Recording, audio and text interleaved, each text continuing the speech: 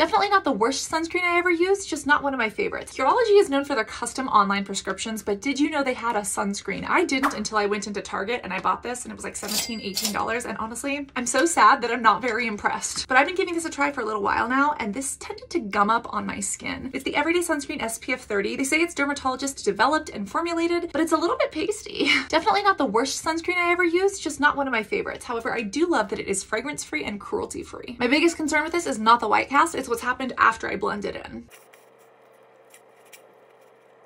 This is the issue that I have with it. Do you see how it noodles up and pills up on my skin? It gets gummy and gross and um, almost impossible to reapply. Not the worst sunscreen in the world, but the ingredients also don't stand out. There's things like argan oil and shea butter and copolymers, but honestly, this kind of looks private label. Maybe they made it custom and it's just not right for my skin. I don't think I'll be buying this again, and I definitely won't be reapplying it again because it's freaking difficult to do.